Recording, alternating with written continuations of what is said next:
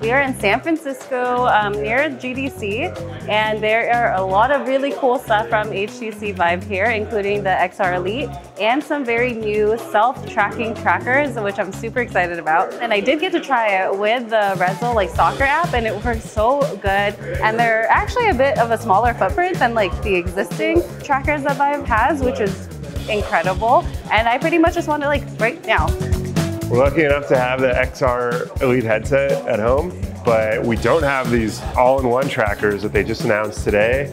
I was very excited to get a chance to put them on. We've done a lot of work with their old trackers. These are much smaller. I got to put them on my feet and have this very immersive soccer experience. I found myself giddy and just like smiling throughout it. And uh, the tracking was smooth. I was in a soccer stadium, I was scoring goals.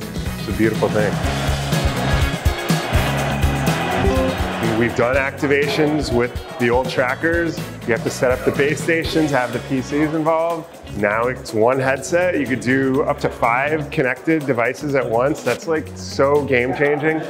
I'm like 10 out of 10, 11 out of 10 excitement on that.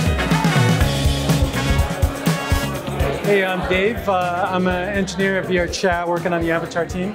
And I'm here at GDC uh, checking out HTC's new uh, self-tracking trackers.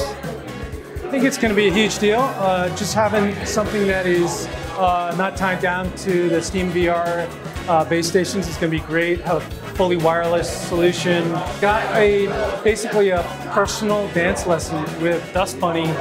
Super cool. I mean, I learned how to salsa.